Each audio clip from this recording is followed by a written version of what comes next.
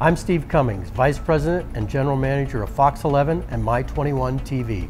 And I'm Colonel Tony Almaraz of the Nevada Highway Patrol. If you're even looking at your cell phone while driving, by the time you've looked up, your vehicle has traveled the length of a football field. And by then, it's too late. That's why we're teaming up to ask you to make a pledge for your safety and the safety of those around you. Join Fox 11, My 21 TV, and the Nevada Highway Patrol in pledging to text later. Stay alert, don't cross the line.